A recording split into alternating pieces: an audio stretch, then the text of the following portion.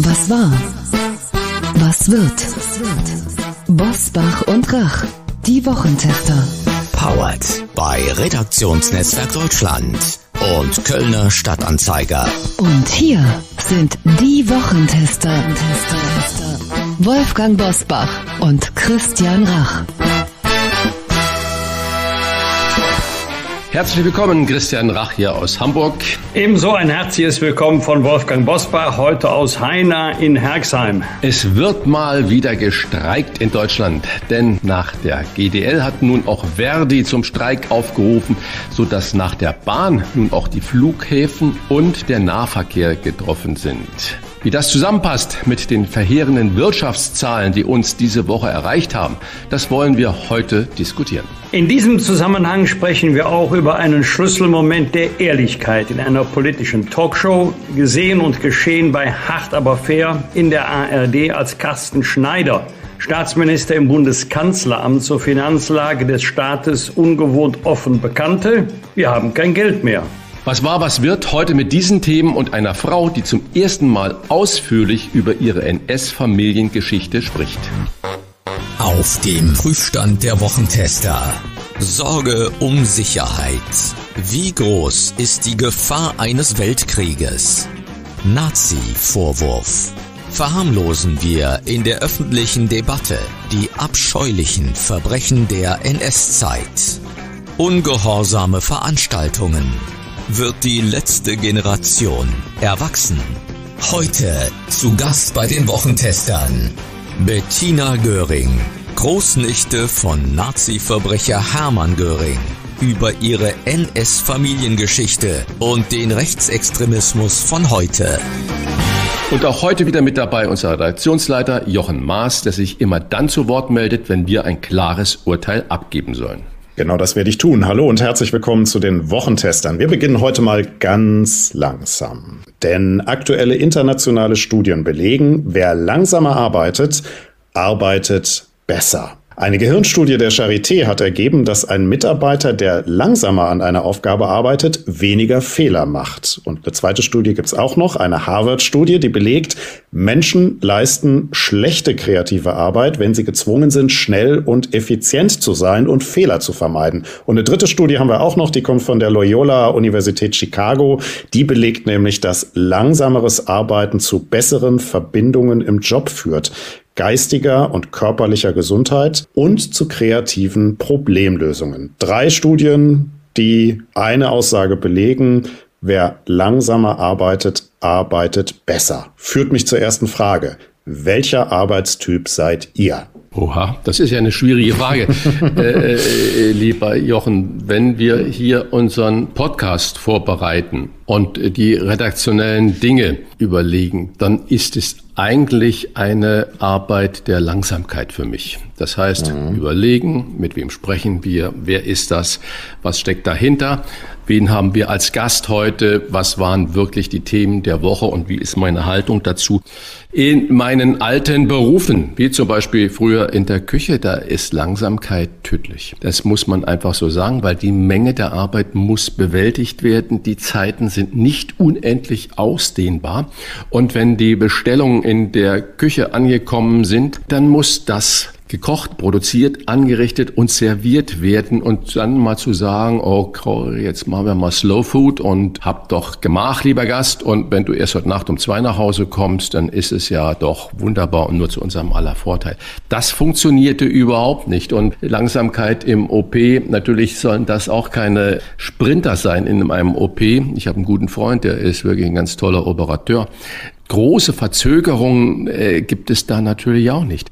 Und ich denke, dass so eine Studie vielleicht nur die geistige Arbeit äh, berücksichtigt. Ich möchte mal die Leute sehen an der Kasse, die dann in der Schlange stehen, wenn die Kassiererin sagt, okay, habt doch alle mal Geduld, chillt ein bisschen, genau. entspannt euch und äh, mir geht's viel besser, wenn ich die Zahl eins nach dem anderen scanne oder eindrucke und so weiter. So. Also, also ich bin jetzt schon genau. unruhig. Beim ja, ja, ich auch schon, mich macht das völlig nervös. Also ja. ich glaube, der kreative Prozess ist gemeint, ne? Also dass wenn man viel Druck hat, dass man dann nicht so richtig kreativ sein kann. So eine Schlagzeilenaussage langsamer arbeiten. Ich glaube, man, um es wirklich dann zu sehen, was meinen diese Forscher, Forscherinnen, äh, die das herausgefunden haben damit, das muss man wissen, um dazu wirklich dann konkret was zu sagen. Also wenn ich morgens am Frühstücksbuffet mal ein gekochtes Ei esse, dann meistens ein 5-Minuten-Ei. Ich frage den Koch morgen mal beim Frühstück, mach doch mal das 5-Minuten-Ei in 10 Minuten gar, mal gucken, ob es dann besser schmeckt. Also ich gehe mal davon aus, dass diese Studie hier, um die es geht, nicht für Berufssportler gemacht wurden. Also ich glaube, wenn man das überträgt, da wird kein Trainer begeistert sein und die Zuschauer auch nicht. Die meinen, das sei ja alles Zeitlupe. Jetzt mal Spaß beiseite. Mir geht es als Anwalt so ähnlich wie, wie Christian in der Küche. Ich muss eine bestimmte Leistung innerhalb einer bestimmten Zeit erbringen. Und da ist es natürlich ein Unterschied, ob du mit einer Rechtsthematik schon hundertmal zu tun gehabt hast, wo man schon weiß, auch was die Gegenseite antworten wird, wie sich der Prozess entwickelt, da kannst du schnell und zügig arbeiten ohne Qualitätsverlust. Aber wenn man zum ersten Mal mit einer bis dahin fremden Rechtsthematik, Problematik konfrontiert wird, muss man sich die Zeit nehmen. Das sind so die Fälle, die ich gerne am Wochenende mache, weil dann keiner anruft, keiner vorbeikommt, um mal schnell Hallo zu sagen oder keine Kollegen kommen, um eine Tasse Kaffee zu trinken. Also ich würde sagen, das hängt ganz ab von der Art der Arbeit, Umfang der Arbeit und der Verfügung stehenden Zeit. Es gibt sehr viele Berufe, Christian hat das ja beispielhaft erwähnt mit der Küche, da kannst du einfach nicht sagen, Moment, Moment, das dauert jetzt mal. Also wenn der Gastronom seinem Gast sagt, Sie haben bestellt, wenn Sie morgen noch mal wiederkommen, dann werden Sie sehen, ist ein ganz tolles Menü. Der Laden wird sich nicht lange halten. Und noch das zum Ergänzen. Früher in den philosophischen Seminaren an der Uni, da war natürlich Langsamkeit das Thema, weil es da um Genauheit der Gedanken ging und um Austausch der Argumente. Und wenn ich heute Talkshows verfolge, da geht es mir meistens nicht mehr um Austausch der Argumente und um Zuhören, sondern da geht es billig um Recht haben. Und man geht mit seinem Standpunkt in die Sendung hinein und man verlässt die Sendung und äh, hat immer noch seinen Standpunkt, weil der Standpunkt des anderen eigentlich nicht interessiert. Früher im philosophischen Seminaren an der Uni war das so, dass man halt zugehört hat und im besten Falle am Ende gesagt hat, stimmt. Darüber äh, habe ich das so noch gar nicht gesehen, äh, sind gute Argumente. Ich werde die mit meinem Standpunkt hin verarbeiten. Da hilft Langsamkeit im Sinne des Zuhörens und des Verstehenwollens. Deswegen nehmen wir uns auch mit unserem Podcast ja ein bisschen Zeit. Unter 90 Minuten schaffen wir es ja selten. Und wir haben auch von beiden gelernt, wir bereiten uns gründlich und vielleicht auch ein bisschen langsamer darauf vor. Trotzdem wollen wir jetzt schnell weitermachen, denn wir haben natürlich auch heute einen Interviewgast, der wartet. Und wir haben eine ganze Menge Top-Themen in dieser Woche. Und mit denen beginnen wir jetzt. Wie war die Woche? Wolfgang Bosbach und Christian Rach sind die Wochentester. Wochentester.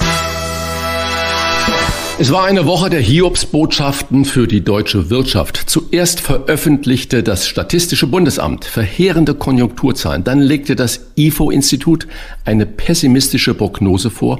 Und zu guter Letzt stufte der Internationale Währungsfonds Deutschland drastisch herab. Wolfgang, das sind Zahlen und Prognosen. Es kam ja die Woche auch noch die Inflationsrate, die ja erstaunlicherweise gesunken ist auf 2,9 Prozent. Das ist der einzige Lichtblick, so dünkt es mich.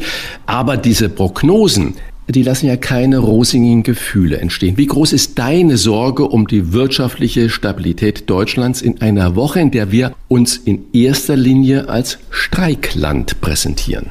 Ohne Dramatisierung, ich mache mir schon seit geraumer Zeit Sorge um die politische Stabilität, aber auch um die wirtschaftliche Stabilität unseres Landes. Da geht es ja nicht nur um Themen wie Entwicklung auf dem Arbeitsmarkt, da geht es auch um die Sicherung des Sozialstaates. Bundesrepublik Deutschland. Denn wenn wir wirtschaftliche Leistungsfähigkeit einbüßen, dann werden wir den Sozialstaat nicht immer weiter ausbauen können.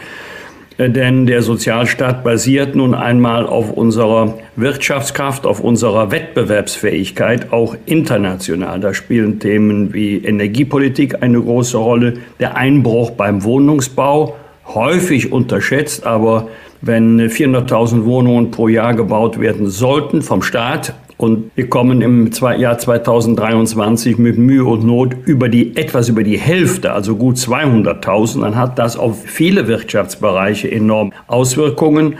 Ja, ich fürchte auch, dass wir eine schleichende, keine ruckartige, keine dramatische, aber eine schleichende Deindustrialisierung bekommen, weil andere Länder, andere Standorte bessere Rahmenbedingungen bieten. Dann spielt das Thema Bürokratie eine Rolle in diesem Zusammenhang, Digitalisierung und so weiter. Also die Sorgen, die jetzt geäußert werden, werden nicht an den Haaren herbeigezogen, die haben schon ihre Begründung, leider.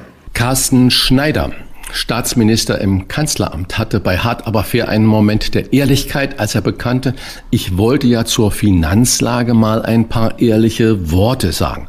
Wir haben einfach kein Geld mehr. Wolfgang, um mit Scholz zu sprechen, ist die Bazooka schon leer?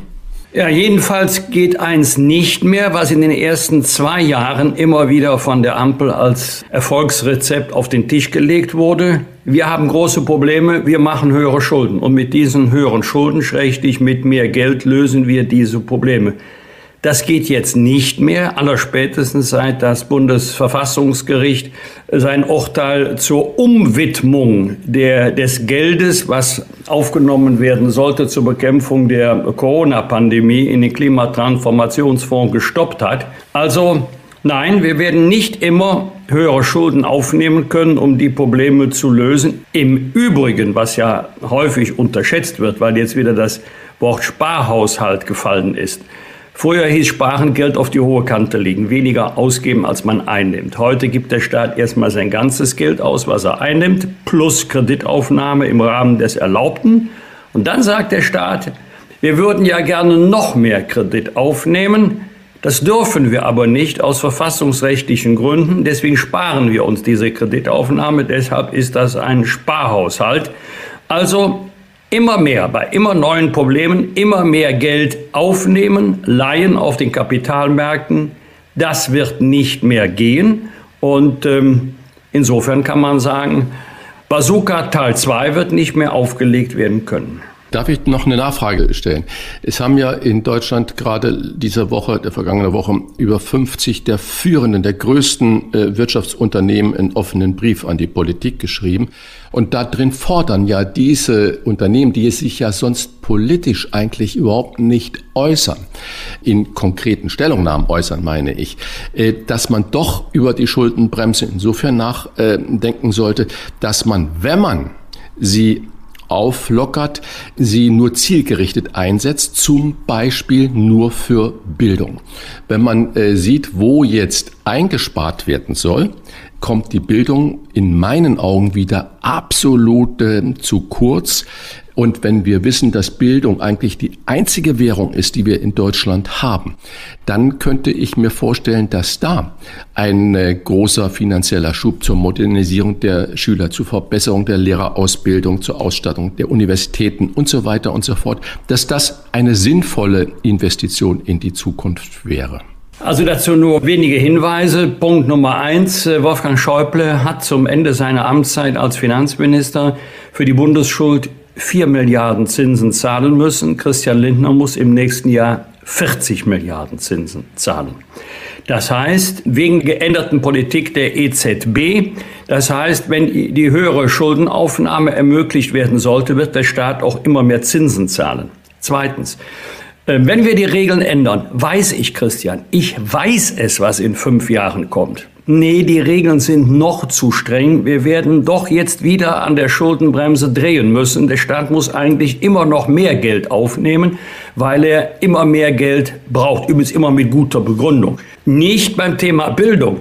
Aber beim Thema Infrastruktur, Straßen, Schiene, Wasserwege ist es ja interessant, dass in der Regel das zur Verfügung stehende Geld überhaupt nicht ganz ausgegeben werden kann, weil es an Planungsreife fehlt. So, jetzt kommen wir mal zum Thema Bildung. Du kannst das Geld nur einmal ausgeben, nur ein einziges Mal. Das ist ein riesiges Problem. Das kennen die Bürgerinnen und Bürger allerdings auch. Da müsste die Politik den Mut haben, Prioritäten zu setzen und zu sagen, so, in fünf oder zehn Jahren sind die besten öffentlichen Einrichtungen unsere Schulen, unsere Universitäten. Da setzen wir jetzt mal einen Schwerpunkt.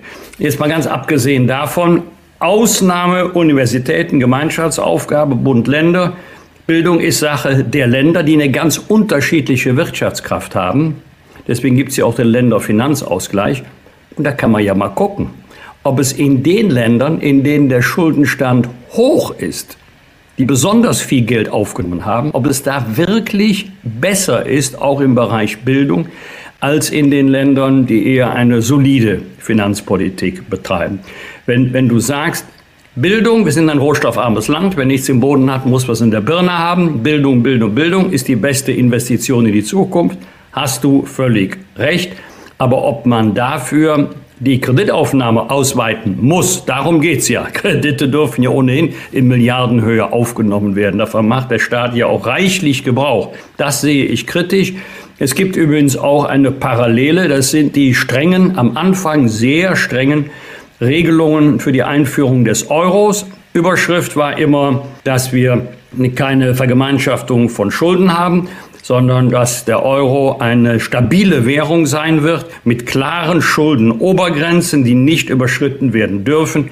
Das alles hat die EU, die EZB längst ad acta gelegt. Diese strengen Regeln in Urform gibt es überhaupt nicht mehr, ohne dass ich erkennen kann, dass dadurch die Prosperität in der Eurozone deutlich gestiegen wäre. Der Sicherheitsreport 2024 des Allenbach-Instituts dokumentiert, die Deutschen fühlen sich zunehmend bedroht, besonders durch die anhaltend hohe Migration und extreme Gruppierungen sowie durch die Kriege in der Ukraine und im Nahen Osten. Christian, in den vergangenen Wochen haben Militärexperten Europa ungewöhnlich oft vor einem dritten Weltkrieg gewarnt. Zuletzt der ukrainische Präsident Zelensky im Interview mit Karin Mioska. Hast du eine reale Sorge vor einem Krieg, auch in Deutschland oder an dem Deutschland beteiligt sein könnte? Nein, äh, die habe ich nicht. Ich glaube, dass dieses Reden über einen dritten Weltkrieg natürlich auch jetzt nach zwei Jahren Ukraine-Krieg diese Abnutzungserscheinungen. Das heißt, wir haben diesen Krieg in unseren Alltag, im Bewusstsein integriert und er haut die meisten in der Bevölkerung nicht mehr so um wie am Anfang. Wir arrangieren uns äh, damit, gerade auch in Deutschland, und wir sehen natürlich, dass dann auch die Unterstützung für die Ukraine äh, nachlässt. Und ich denke, dass diese Form der Rhetorik äh, auch dazu dient, äh, das Bewusstsein, gerade für den Überfall Russlands auf die Ukraine, wir sagen ja jetzt nur noch Ukraine-Krieg, das klingt ja äh, schon wieder so anderswertend, dass dieses, das Bewusstsein für diese Gräueltaten, die dort jeden und jeden Tag passieren, aufrechterhalten soll und auch muss. Die NATO hält ja zurzeit oder jetzt in baldigster Bälde ein das größte Manöver seit den 70er Jahren ab, indem man natürlich auch Russland demonstriert und zeigt, unabhängig von der Ukraine, das ist die Stärke der NATO und wage es ja nicht irgendein Gebiet von der NATO, von NATO-Mitgliedern anzugreifen. Und ich denke, äh, dass ein Weltkrieg das Ende der Welt bedeuten würde. Mir macht viel mehr Sorgen, dass im Schatten dieser ganzen Kriege, in Israel ist Krieg, in der Ukraine ist Krieg, der kleine Diktator, wie Trump ihn Rocket Man bezeichnet hat, in äh, Nordkorea, Kim Jong-un, dass der da seine Spielchen unbeachtet der Weltöffentlichkeit da weiter treibt. Der hat alle Kontakte zu Südkorea aufgekündigt. Er macht einen Raketentest nach dem anderen. Vor diesen Menschen muss man sich, glaube ich, mehr fürchten äh, vor den Mullahs im Iran, die unberechenbar sind und die einen Flächenbrand vermutlich provozieren wollen. Das sind die größeren Gefahren als der Weltkrieg über Putin. Macht mir aber auch Sorge, wenn du das jetzt alles so hintereinander aufzählst. Ne? Ja, aber ich glaube, dass gerade Nordkorea im Moment außer Rand und Band ist und dass wir da natürlich null Fokus darauf haben.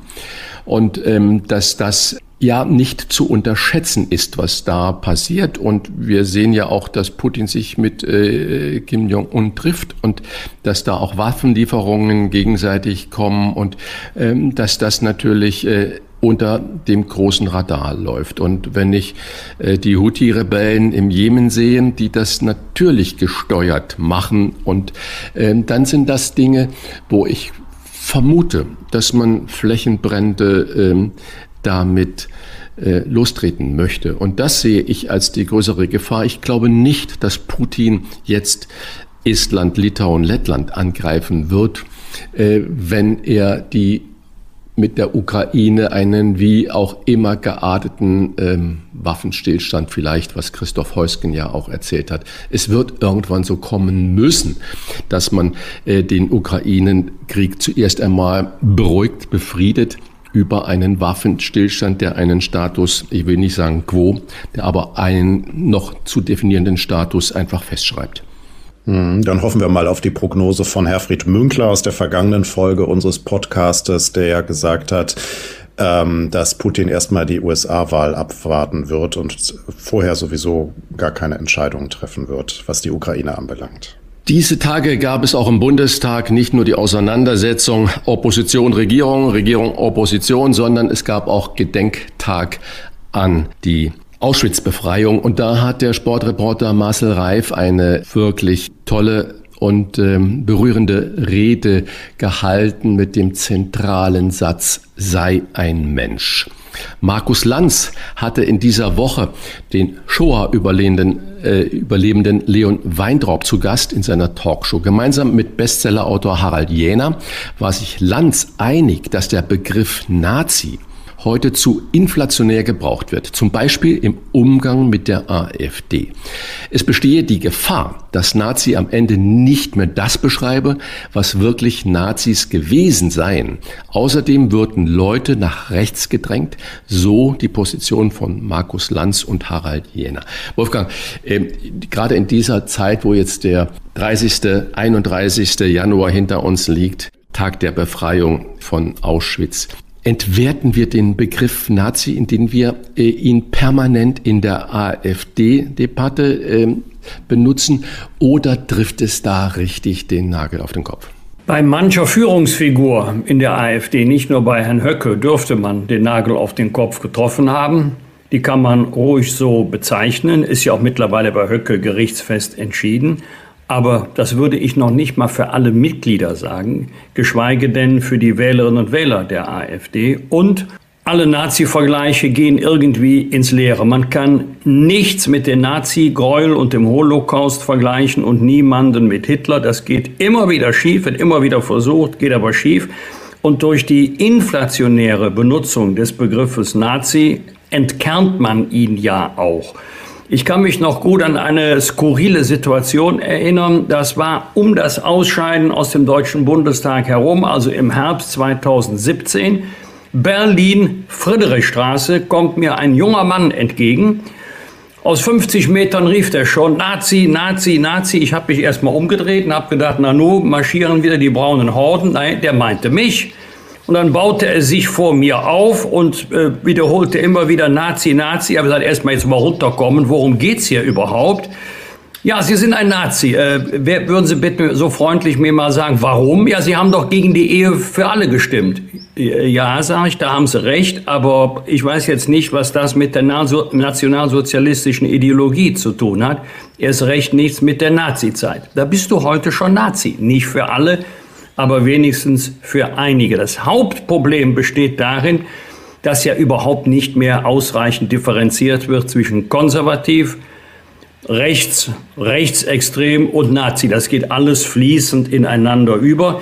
Ich glaube, wir hören auch ein bisschen den Sound der nächsten Bundestagswahlen. Bist du nicht links, bist du rechts. Bist du rechts, bist du AfD, bist du Nazi. Wenn das das Niveau ist oder werden sollte, mit dem wir den nächsten Bundestagswahlkampf bestreiten, dann gute Nacht Deutschland. Eine erlösende Nachricht für alle Autofahrer in der Großstadt. Die letzte Generation will sich nicht mehr auf Straßen festkleben und stattdessen lieber, Zitat, ungehorsame Veranstaltungen an Orten der fossilen Zerstörung abhalten. Christian, sind die Klimakleber erwachsen geworden oder prognostizierst du, wie ich, dass ungehorsame Veranstaltungen am Ende doch wieder in Straßenblockaden enden können oder dass äh, bis dato friedliche Versammlungen gezielt gesprengt werden sollen? Also es sind ja mehrere Fragen, die du jetzt da gestellt hast. Erste sind die Klimakleber erwachsen geworden. Das weiß ich nicht. Ich glaube, die sind einfach frustriert, weil sie gemerkt haben, dass sie mit dieser Form der Blockaden äh, nicht die Bevölkerung wachrütteln, äh, begeistern, für sich einnehmen, sondern dass ihnen da unglaublich viel Gegenwind entgegengeblasen hat. Also insofern glaube ich, ist es einfach eine logische Konsequenz, ob das erwachsen ist oder nicht. Das sind auch alles erwachsene Leute. Was mich aber wirklich erstaunt, wir erleben heute ähm, immer noch an, in einigen Städten, auch am Donnerstag noch passiert, am Mittwoch passiert, die Bauern blockieren mit ihren Treckern die Autobahnzufahrten, die Zufahrten zu Innenstädten und so weiter und so fort. Da höre ich nirgends einen Aufschrei. Es gab eine Räumungsaktion, weil eine nicht angemeldete Traktorenprotest was lahmgelegt hat. Also in dem Moment, wo die Bauern anmelden, ist das legal. Und wenn man sich mal genau nur die Ziele anschaut, dann ist es bei den Bauern ja in einer Industrie, die hoch subventioniert ist und nicht nur beim Agrardiesel, sondern mit vielen, vielen Dingen, durchaus möglich, dass man darüber geteilter Meinung sein kann, wie die Zukunft der Landwirtschaft auszusehen hat. Ich habe nichts gegen die Bauernproteste, also nicht falsch verstehen. Aber irgendwie kommen die Bauernproteste in der Bevölkerung besser an. Die Proteste, die gegen die Vorschriften äh, bei Düngemittel sind, die gegen äh, die Stilllegung der vier Prozent Fläche, wie die EU es vorsieht, ähm, sich stellen, die gegen Bürokratie sich stellen und die gegen den Abbau des äh, Agrardiesels Subvention sich richten und so weiter. Irgendwie sieht die Bevölkerung das für wichtiger an als die Proteste und die Aufmerksamkeit machen auf den Klimawandel. Da wird in meinen Augen mit zweierlei Maß gemessen. Ich bin sehr wohl für ein Streikrecht oder für eine Protestform und ich bin gespannt, was die Klimakleber in Anführungsstrichen äh, sich jetzt einfallen lassen, wenn ich jetzt an Mona Lisa in Paris denke, wo zwei Frauen Gerechtigkeit beim Essen für alle äh, demonstriert haben, indem sie Suppe da drauf kippen, dann ist das eher lachhaft, als dass es irgendwas bewirkt. Man ist mal in der Zeitung und in den Nachrichten, aber es wird eigentlich äh, nichts bewirken. Und eine Form der Aufmerksamkeitspolitik finde ich richtig. Was aber das für Aktionen sein sollen und werden, das müssen wir absehen. Aber ich sage nur ein bisschen jetzt runterfahren mit den Klimaklebern und auch schauen, was für die eine Gruppe recht ist, muss für die andere auch billig sein. Christian, wir schwimmen meistens auf einer Wellenlänge, hier nicht. Bei den Bauern geht es doch nicht um Privilegien. Die Regelungen, um die es geht, gibt es seit 1967 und sie sind nicht ungerechtfertigte Bereicherung, sondern sie sind Ausfluss der Tatsache, dass sowohl die Kfz-Steuer als auch die Mineralölsteuer zweckgebunden sind. Bau, Ausbau, Reparatur von öffentlichen Straßen. Mähdrescher, Traktoren, andere landwirtschaftliche Geräte fahren aber zu 90 Prozent auf Wiesen, Feldern und Äckern und nicht auf öffentlichen Straßen. Deswegen kann man sich einen Teil der Agrardieselsteuer wieder zurückholen. Also Verursachen die Landwirte wirklich die Kosten, für die die Steuern erhoben werden? Nein, das machen PKWs und LKWs, landwirtschaftliche Geräte nicht. Und, jetzt kommt ein ganz entscheidender Punkt, wir wollten damals und wir wollen auch heute die Wettbewerbsfähigkeit unserer Landwirtschaft erhalten. Wir leben in der Europäischen Union. Wir haben einen Binnenmarkt.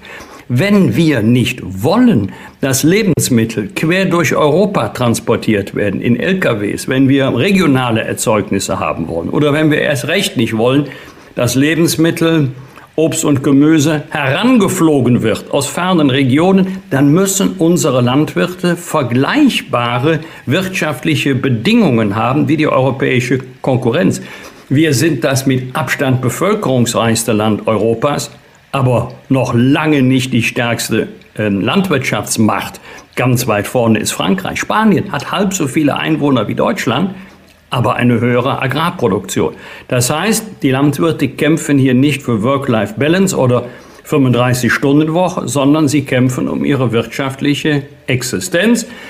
Beim Thema Demonstrationen hast du natürlich 100% recht, gleiches Recht für alle und da unterscheidet die Rechtsprechung klugerweise auch die Rechtslage zwischen angemeldeten Demos und nicht angemeldeten Demos. Und die letzte Generation hat ja ihre Demonstrationen nie angemeldet, weil sie sonst ihren Zweck verfehlt hätten.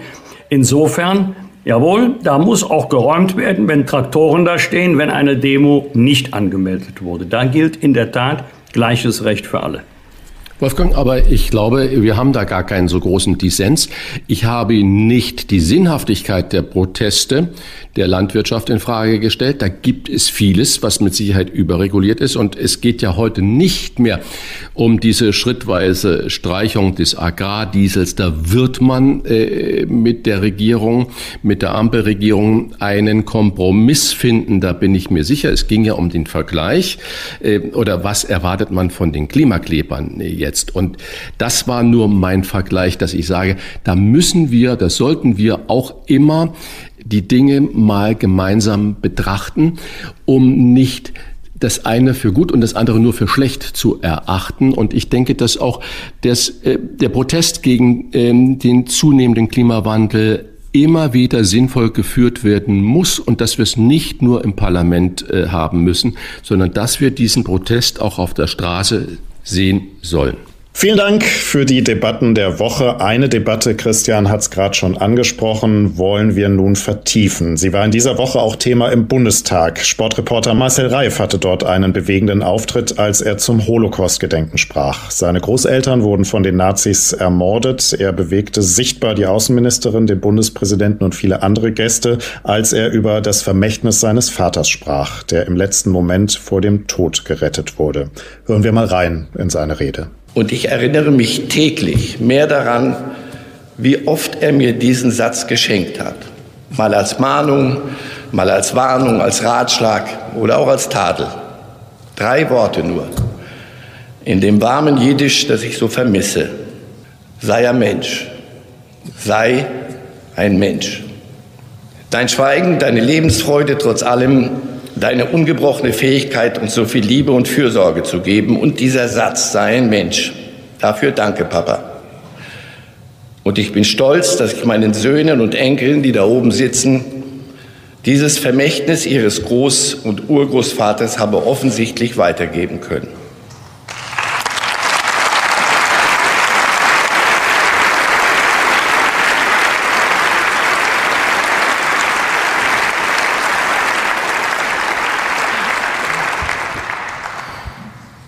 Und wenn Sie es mir erlauben und wenn Sie mögen, gerade heute aus diesem Anlass und gerade hier in diesem höchsten deutschen Hause, dann lasse ich Ihnen den kleinen und doch so großartigen, wundervollen Satz, den mein Vater Leon Reif gesagt hat, dann lasse ich Ihnen diesen Satz hier. Sei ein Mensch.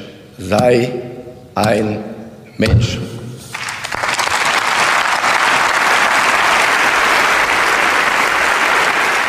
Sei ein Mensch. Marcel Reif diese Woche im Bundestag zum Holocaust-Gedenken. Wir sprechen nun mit einer Frau, die beim Thema Nazi-Gefahr auch ihre ganz eigenen Gedanken und Sorgen hat. Die Großnichte von Nazi-Verbrecher Hermann Göring, jetzt im Gespräch mit den Wochentestern.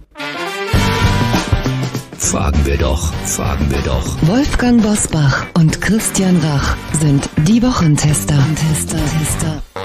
Der gute Onkel, mein verdammtes deutsches Erbe, heißt das Buch einer Frau, deren Name ihr Schicksal ist.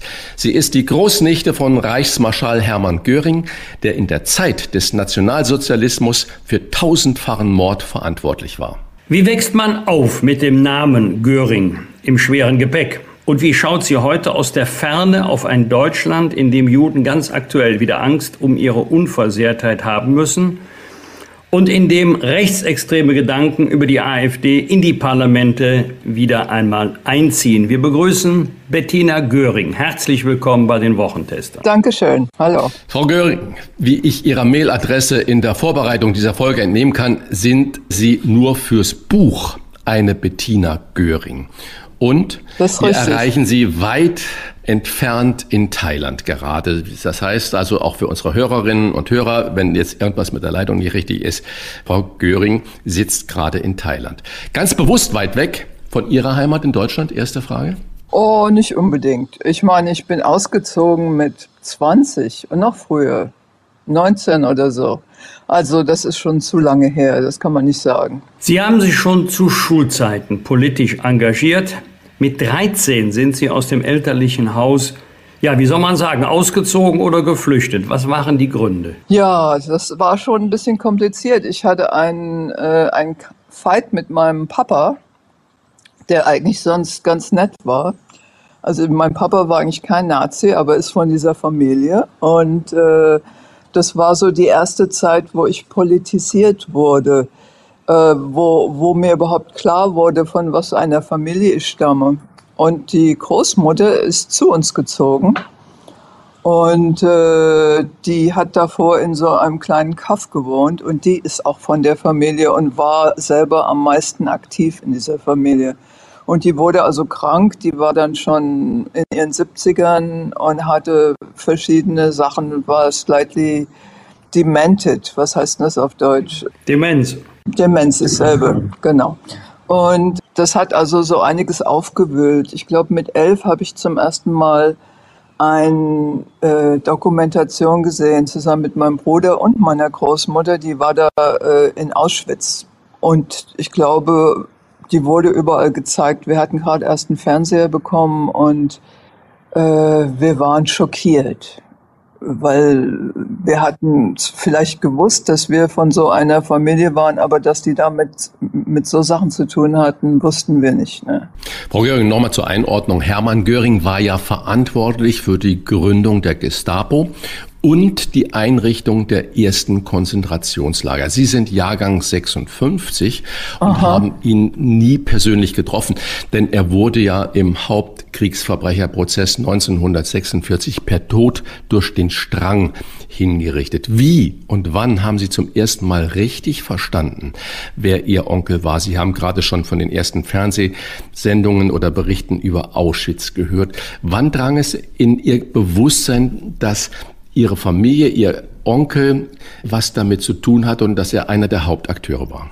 Also da war ich schon 13, 14 und äh, da war politisch viel los äh, und ich habe mich so einer Jugendgruppe da von dem KBW angeschlossen, damals Kommunistischer Bund Westdeutschland. Und äh, da äh, fing ich an, ganz viel über Geschichte zu lesen von diesem Aspekt her davor, äh, was mein Papa erzählt hat oder Großmutter, war nur, dass er äh, Herr von der Luftwaffe war. Und da, darauf war mein Papa ganz stolz, weil er ist selber auch geflogen und das hörte sich ja nicht so schlecht an. Ne? Und diese anderen Sachen haben sie also wenig erwähnt. Und Und als wir das also rausgefunden haben, mein Bruder und ich, äh, waren wir völlig schockiert. Je mehr wir rausgefunden haben und je mehr haben wir uns distanziert, versuchten wir uns zu distanzieren von der Familie. Der gute Onkel heißt Ihr Buch. Sie schreiben darin, dass Hermann Göring ein Massenmörder und Psychopath war, der sehr charmant sein konnte.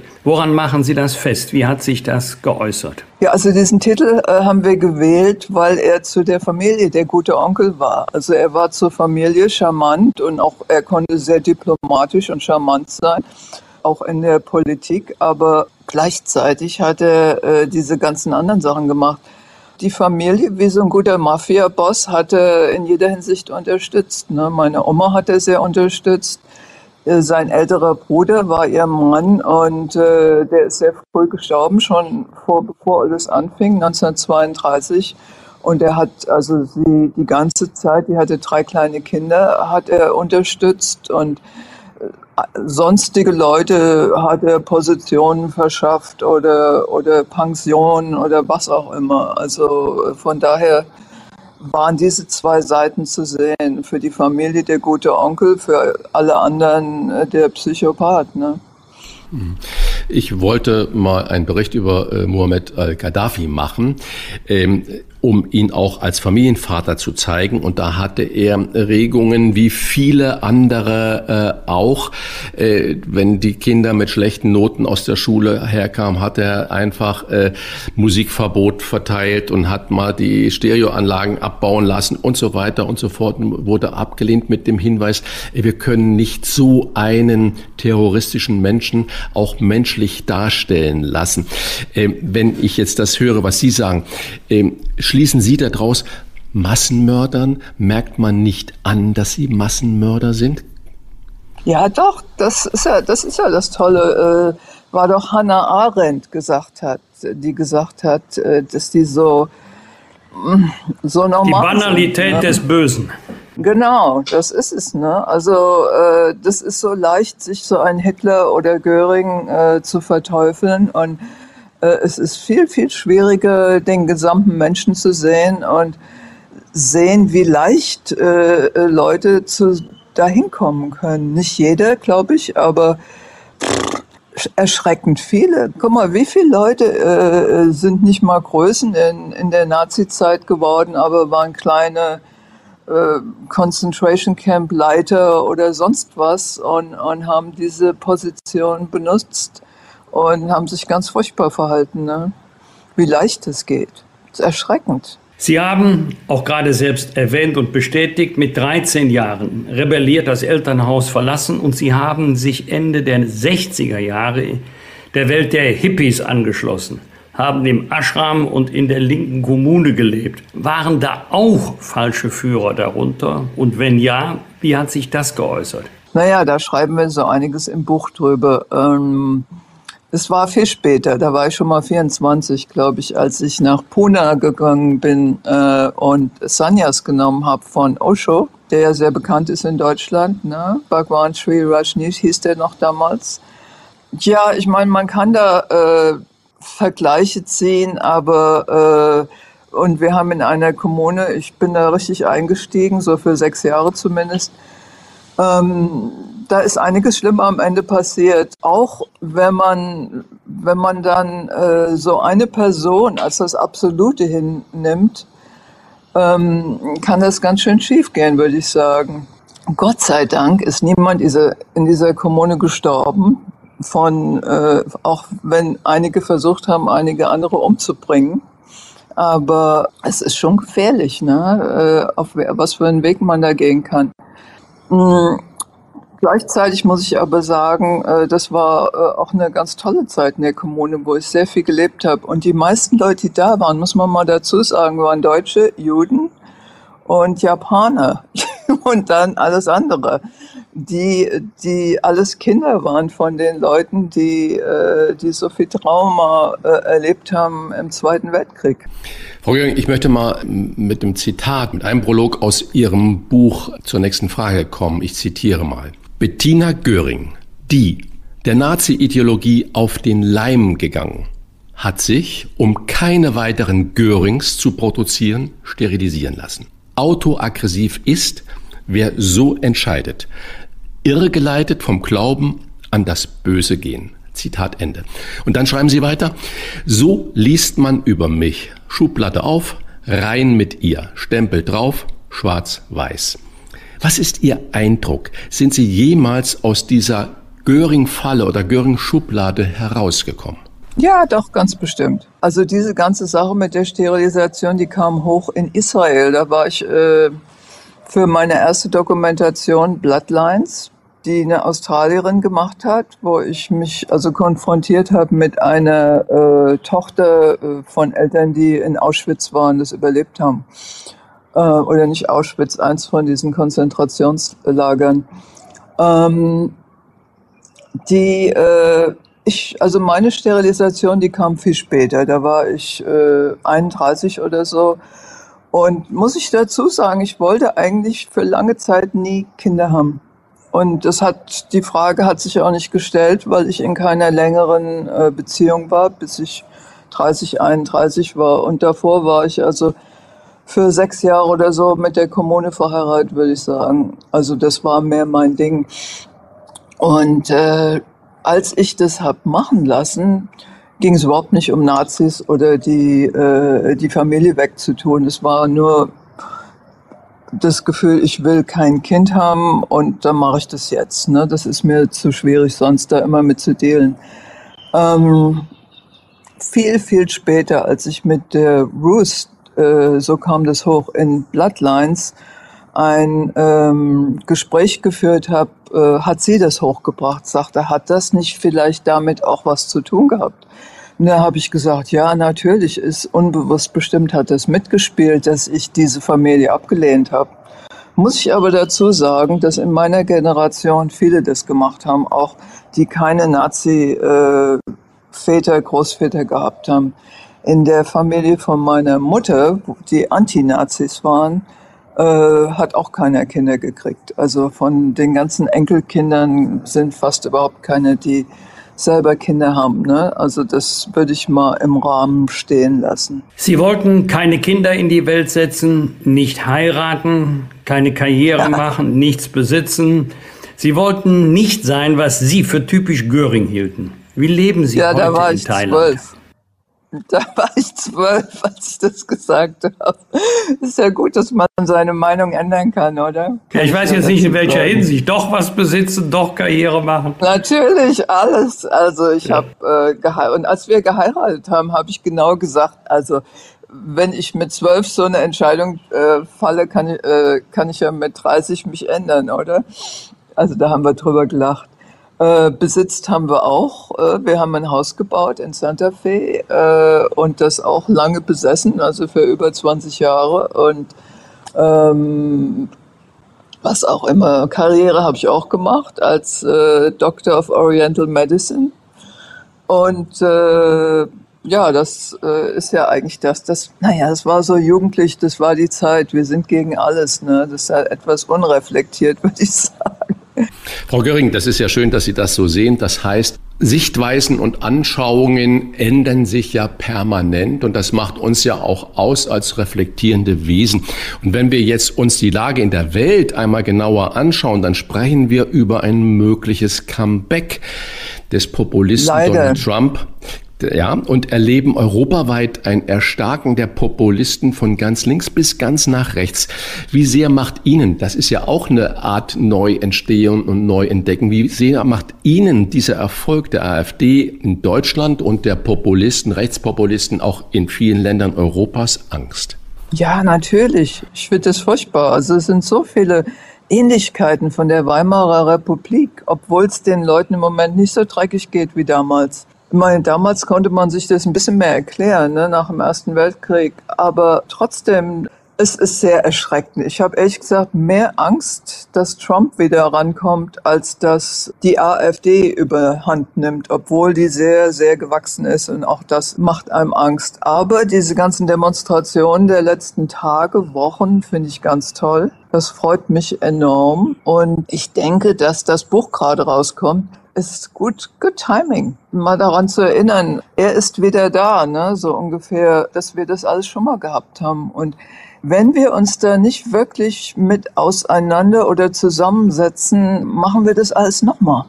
Ich war in diesem anderen Dokumentation, Hitler's Children, das hieß anders auf Deutsch, und da ist Niklas Frank drin. Und ein, ein Statement, das er also gesagt hat, war, äh, ja, also ich kann mir gut vorstellen, dass das alles wieder passiert.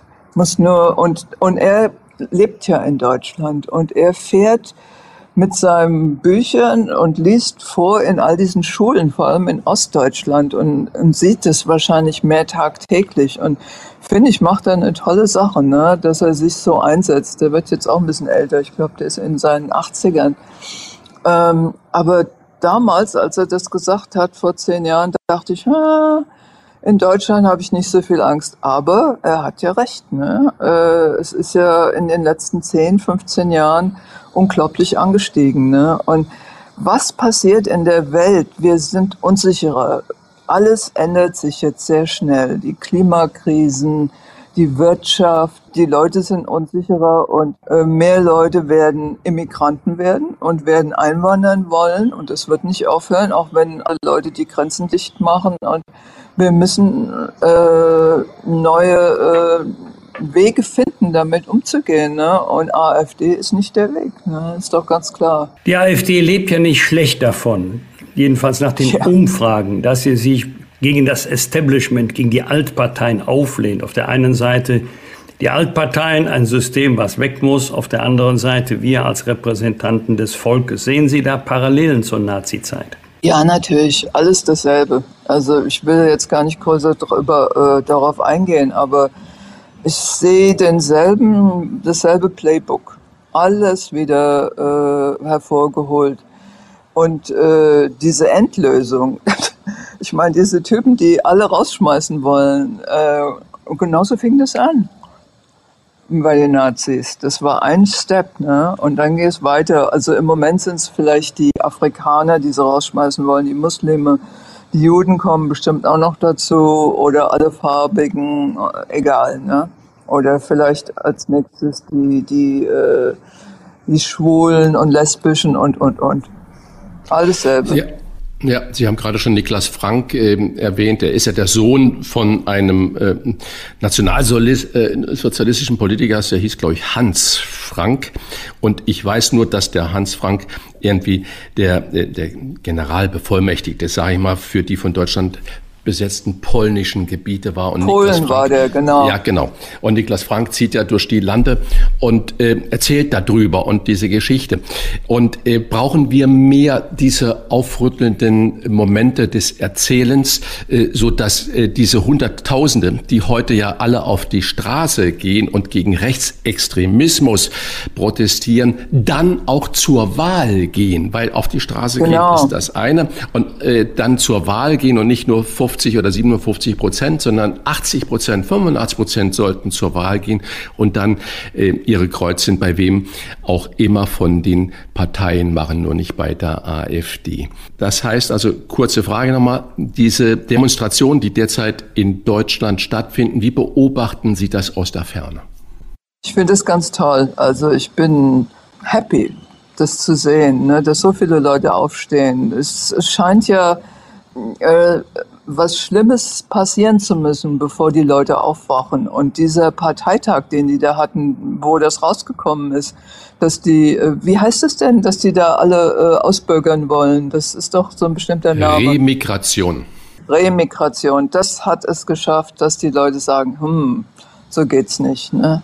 Ich glaube, da wird mehr von der Sorte passieren. Und ich glaube, diese Leute werden auch wählen und ganz viele junge Leute werden wählen genauso äh, habe ich äh, die Hoffnung in, in Amerika, dass, dass äh, viele junge Leute auch wählen. Und äh, ich habe gerade so einen Artikel gelesen auf Taylor Swift, die Hardline MAGA Republicans, also hinter Donald Trump, haben totale Angst vor dieser Frau, weil die hat eine riesen Influence auf die jungen Leute, ne?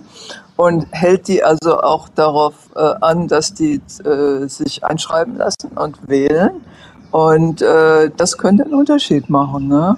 weil das ist, wird ja sonst knapp, ne? auch in Amerika. Abseits der machtvollen Demonstrationen der letzten Wochen, was wäre Ihrer Meinung oder Erfahrung nach denn die beste Antwort auf das Erstarken der AfD in Politik und Gesellschaft? Ja, also so schwer das klingt, äh, Kommunikation, äh, dass man miteinander redet, auch mit diesen Leuten, es ist unheimlich schwer. Also ich finde, selbst äh, seit Covid ist eines der schwersten Zeiten im Moment, ähm, mit Leuten zu reden. Wir haben viele Freunde, die voll auf die Conspiracy-Schiene gegangen sind. Und wir können auch nicht mit denen reden. Also ich versuche immer wieder mal, aber da, da ist so die Klappe zu und ähnlich ist es äh, auf den extremen Rechten, diese Leute, die selber AfD wählen. Wir müssen irgendwie einen Weg finden, dass wir miteinander reden können und vielleicht einfach gemeinsame, wo man hingeht und sagt, ich verstehe, dass du verunsichert bist. Ich verstehe, dass deine ganze Existenz äh, im, im, Wackeln ist. Ne? Und, und so diese Leute an, anzusprechen, also das ist für mich die einzige Art, äh, mit denen in ein Gespräch zu kommen. Ich weiß nicht, wie sonst. Ne? Also es ist, es ist viel zu leicht zu sagen, die sind alle äh, der Teufel, ne? die zu verteufeln, so geht es nicht. Ne? Gut, wenn man das ernst nimmt, Frau Göring, dann ist natürlich auch das, was Sie jetzt gerade über Taylor Swift gesagt haben, kann man ja darüber diskutieren. Man weiß heute, äh, ich glaube, Taylor Swift ist die Person auf der Welt mit den meisten Followern auf welcher Plattform auch immer. Es gibt ja gerade eine genau. große Auseinandersetzung mit TikTok und man hat ja regelrecht Angst davor, weil wenn man äh, weiß, dass Taylor Swift eine Wahlempfehlung entweder für den Kandidaten oder den anderen Kandidaten geben würde, dass es 15 bis 20 Prozent Wahnsinn, Stimmen ne? ausmachen würde. Das heißt also unglaublich gefährlich, was so eine einzelne äh, Frau dann für eine Macht hat. Wenn ich jetzt zurückkomme, Macht, ja, zurückkomme nach Deutschland und wir sehen, wie heute das Wort Nazi eine unglaubliche Macht hat, indem man Andersdenkende sofort als Nazi ja. tituliert. Äh, Markus Lanz hat diese Frage in der Woche einer seiner Sendungen aufgeworfen, ob die vorschnelle Verwendung des Wortes Nazi in der öffentlichen Debatte zum Beispiel, dass jeder AfDler sofort ein Nazi ist, in Wahrheit einer Verharmlosung der grausigen Verbrechen der Nazizeit führen würde. Wie sehen Sie das? Ist das so, dass man sofort, ja, die Leute ja, damit... Ja, finde ich richtig, weil ich habe das auch schon erlebt mit... Äh, den Conspiracy-Leuten da mit Covid, dass die, äh, die Leute, die für Masken waren, sofort als Nazis titulieren. Äh, oder jetzt die Israelis als Nazis titulieren, wenn ich auch nicht gut finde, was die da in Gaza machen, aber ich finde die andere Seite auch nicht gut. Das ist einfach viel zu vereinfacht. Ne? Man muss wirklich sich das genau angucken, was läuft und und äh, jemanden sofort zu verteufeln als Nazi äh, ist völliger Quatsch. Ja, das das macht man sich zu einfach. Und äh, wie, wie auch äh, ich davor gesagt habe, die AfD, da ist ein Grund, ne, dass die da hintigern. Das ist ein Grund, weil die sich so verunsichert fühlen. Und da muss man reinhaken, finde ich. Anstelle einfach zu sagen, ihr seid die Nazis, ihr seid der Teufel. Da kommt man ja nirgendwo hin, ne? Um das noch ein bisschen ähm, einzusortieren. Taylor Swift hat 280 Follower, genauer gesagt 280 Millionen. Natürlich weltweit, Wahnsinn. nicht nur in den, in, den, in den USA, aber das macht deutlich, dass Frau Göring mit ihrer Einschätzung durchaus recht hat. Wir haben in dieser Woche beim Internationalen Tag des Gedenkens an die Opfer des Nationalsozialismus gedacht. Sie selbst haben vor einigen Jahren den Kontakt aufgenommen zur Tochter einer Holocaust-Überlebenden. Aus dem Treffen wurde ein Dokumentarfilm und ihr Coming Out als Bettina Göring. Wie kam es dazu? Ah, Ruth Rich in Byron Bay. Ähm, die war eine Freundin von der Freundin. Das ist die ganze, muss ich mal dazu sagen, das waren alles Sannyasins. Alles Leute aus der Sanyas-Szene. Ja. Sie meinen Byron, ja, Byron Bay in Australien, damit die unsere Hörer das auch wissen. Ehemaliges Hippie-Dorf und heute immer noch bei allen Work and ja. Traveler. Das Sehnsuchtsziel in Australien. Ah ja, genau. Also ich hatte eine Freundin, mit der habe ich mal in Laguna Beach zusammen gewohnt, auch aus dieser Sanyas-Zeit. Die war äh, Geschichtslehrerin in Australien und die war gute Freundin von Ruth. Und ich habe ähm, ihr irgendwann mal gesagt, vor Ewigkeiten, es ist dieser Plan, dieses Buch zu schreiben, das ist schon sehr lange in meinem Kopf. Das war 2003 oder 2004, habe ich gesagt, irgendwann mache ich das und ich werde mich mit diesem ganzen, äh, mit meiner Geschichte auseinandersetzen. Und dann sagt die, wenn du mal so weit bist, das wäre doch toll, wenn du meine äh, Freundin Ruth kennenlernst. Und die ist die Tochter von Holocaust-Survivors und die ist geboren in Garmisch oder was, 1946. Da waren die in so einem Lager. Und dann äh, habe ich angefangen mit Ruth äh, erstmal E-Mail zu machen und dann bin ich nach Australien gefahren und wir haben angefangen zu filmen. Das ging dann über drei Wochen war unheimlich anstrengend. Und äh, da habe ich mich zum ersten Mal mit den schlimmsten Sachen von Hermann Göring konfrontiert gesehen. Also ich wusste einiges, aber ich wusste ehrlich gesagt bis dahin nicht, dass er diese Endlösung da unterschrieben hat, zum Beispiel. Oder was Gestapo wusste ich, aber noch so einiges kam dazu. Und dann habe ich mir nochmal aus, äh, aus der Library so eine Biografie geholt in Santa Fe habe ich da noch äh, das gemacht in Amerika. und äh, war schockierend. Und äh, wenn man diese Bloodlines, die, die Dokumentation sieht, äh, ist, äh, ist das sehr konfrontativ. Hä? Aber äh, muss dazu sagen, für mich war das auch sehr heilsam. Ich glaube für Sie auch, das so zu machen. Und dann daraus kam dann noch, äh, dass wir eingeladen wurden nach Israel. Dann wurde das gezeigt und diskutiert. Und dann äh, kam die nächste Dokumentation von dem Israeli äh, Hanoch Sefi, die Hitlers Children, wo so fünf verschiedene, wie Niklas fragt, äh, gefragt wurden und so weiter. Anyways. Sie haben jetzt gerade so einen Erweckungsmoment beschrieben, so äh, auch so ein Stolpermoment, wo Sie sagen, das wusste ich gar nicht, was da alles noch da hinten dran sei.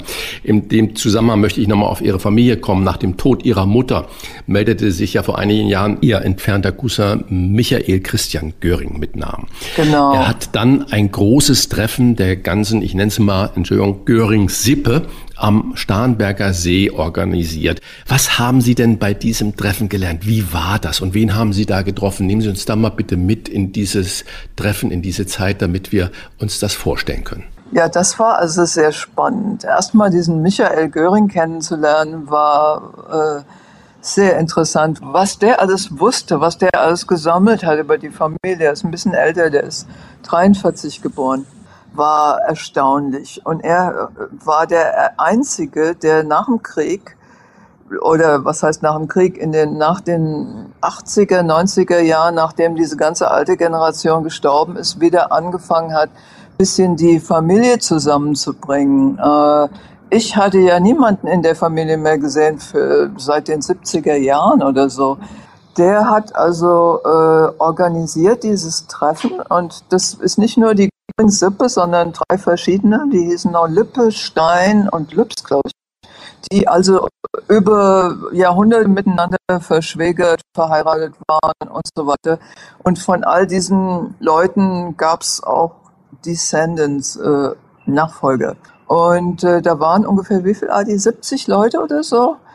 Und ähm, niemand, doch eine Person war da von der alten Generation, glaube ich. Alle anderen waren so unser Alter oder vielleicht ein paar Jahre älter. Also keine Nazis, nicht, dass wir wüssten jedenfalls. Und ich habe ein paar Cousinen wieder getroffen, die ich seit der Kindheit nicht mehr gesehen habe. Die aus Österreich, von der Tante Ole, Olga Riegel hieß die, ne? die ältere Schwester von Hermann, die auch ganz eng mit meiner Großmutter war. Das war also ganz toll ich wusste nicht, was ich erwarten sollte und ähm, habe da einige kennengelernt, äh, mit denen ich immer noch in Kontakt bin und es war ein ganz toller Kontakt. Äh, viele wollten mich auch mal kennenlernen, weil ich von einer ganz anderen Welt kam. Ne? Ich bin ja aus Deutschland weg und kam wieder zurück. Und ähm, dann war äh, dadurch, äh, da war ziemlich viel Inzest in diesen Familien. Und auch meine Großmutter hat ihren Onkel geheiratet von denselben Göring-Seite. Und ähm, dadurch, auf sehr komische Art und Weise, war ich mit all diesen Sippen verheiratet, äh, verwandt, nicht verheiratet. Und es war, ich kann nur sagen, erstaunlich, überhaupt mal in diese ganze Familiengeschichte einzutauchen. Dann sind wir dann zu so einem Schloss gefahren, das mal einem, einem Großvater von diesem Michael Christian gehört hat, von 1900 hat er da so ein Schloss gekauft, auch am Sternberger See. Also so eine vergangene Zeit, da sind jetzt, glaube ich, irgendeine christliche Gruppe, die das macht und die da äh, äh, Seminare machen.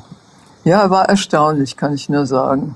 Sie wollten bei diesem Treffen mit der Göring-Sippe das Schubladendenken hinter sich lassen. Grautöne statt nur schwarz-weiß zulassen, ist auch der Anspruch Ihres Buches. Können Sie sich irgendwann sogar ein Leben in Deutschland vorstellen? Oh, ich gehe gerne zu Besuch nach Deutschland, aber sonst ist mir zu kalt da. also das ist wirklich, äh, nee, ich glaube, es wäre ein bisschen eng für mich in Deutschland. Aber man sollte nie, nie sagen. Aber im Moment bin ich ganz happy hier in Thailand und dann noch USA zum Teil. Jetzt ist die längste Zeit, dass ich nicht in Deutschland war, weil es so lange gedauert hat, bis dieses Buch endlich fertig ist. Sonst waren wir fast jeden, jedes Jahr in Deutschland, als meine Mutter noch gelebt hat. Die ist 2008 gestorben und meine Tante ist jetzt die letzte von denen gestorben. Das war äh, gerade vor zwei Jahren. Äh, wir haben die immer wieder besucht, alle, und ich komme gerne immer wieder zu Besuch.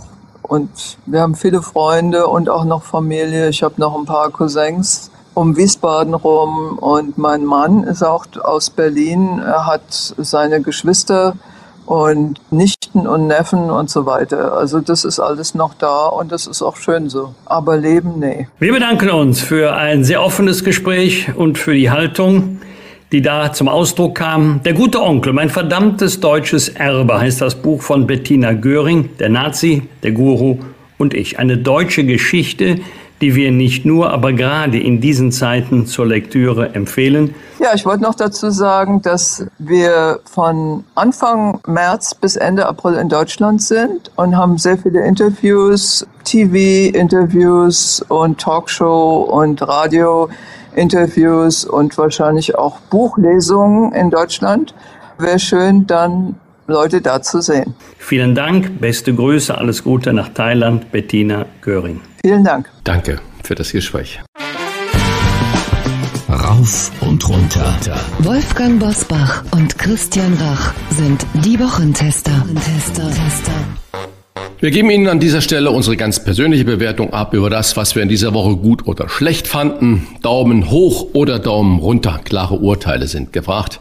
Wolfgang, gab es für dich in dieser Woche etwas, bei dem du gesagt hast, da geht mein Daumen aber sowas von hoch oder du senkst den Daumen?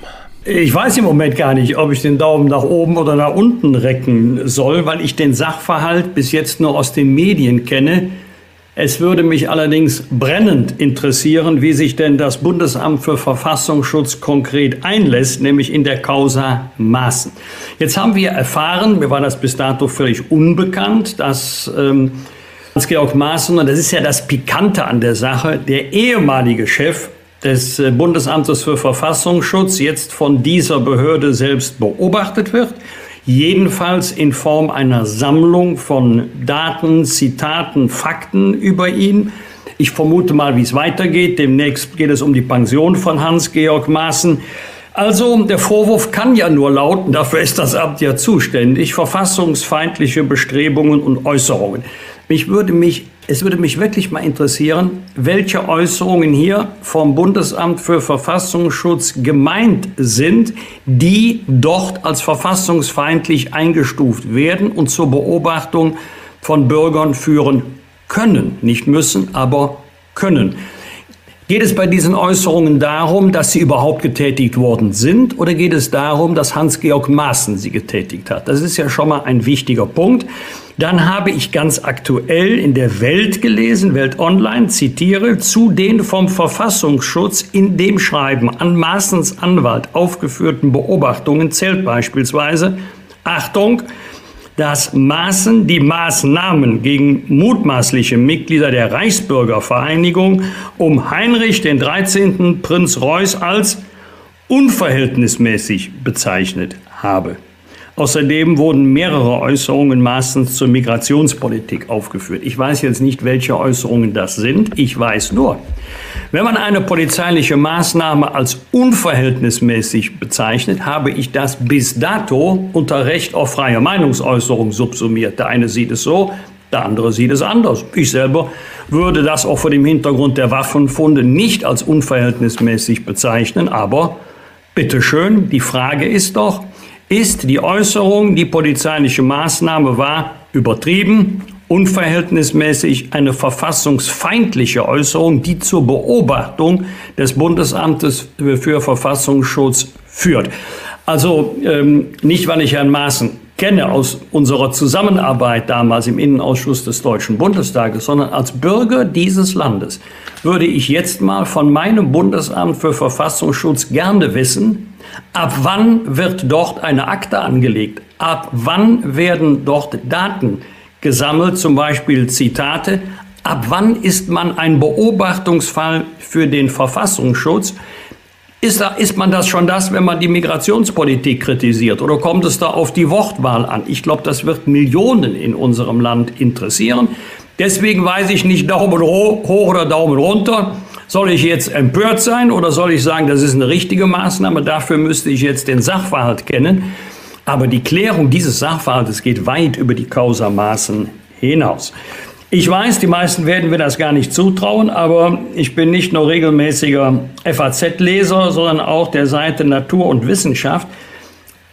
In dieser Woche fand ich einen interessanten Artikel, auf was das Klima baut. Ich muss gestehen, mir war auch nicht bekannt, dass Beton, also die Herstellung von Beton, mehr als doppelt so viel CO2-Emissionen verursacht wie die gesamte Luftfahrt. Und dann wurde es interessant, was technisch alles zurzeit geprüft wird, erforscht wird, um den CO2-Ausstoß deutlich zu reduzieren. Vielleicht sind wir nicht nur, aber gerade beim Thema CO2 etwas zu fatal unterwegs oder setzen zu viel auf Gebote und Verbote. Es ist doch enorm, was die Technik in, in der Vergangenheit schon geleistet hat, in Zukunft noch alles leisten wird. Ich erinnere mal in diesem Zusammenhang, heute muss man das lesen, Club of Rome, Grenzen des Wachstums. Das müsste so Anfang der 70er Jahre gewesen sein. Da kann man ja mal alle Prophezeiungen, alle, kann man ja mal abgleichen mit der Wirklichkeit, mit den letzten äh, über 50 Jahren. Und dann kann man ja auch mal die Prophezeiungen abgleichen äh, mit ähm, The World in Data, wie sich das Leben auf der Erde verändert hat. Übrigens in vielen Bereichen verbessert. Da werden jetzt sicherlich einige die Hände beim Kopf zusammenschlagen, weil ja angeblich immer alles nur schlechter wird. Ist aber objektiv gar nicht der Fall. Und ich habe immer so ein bisschen das Gefühl, oh Leute, wir haben zu viel Endzeitstimmung. Morgens ist eine erste Nachricht, droht der dritte Weltkrieg. Die zweite Nachricht ist, wie lange können wir auf diesem Planeten noch leben?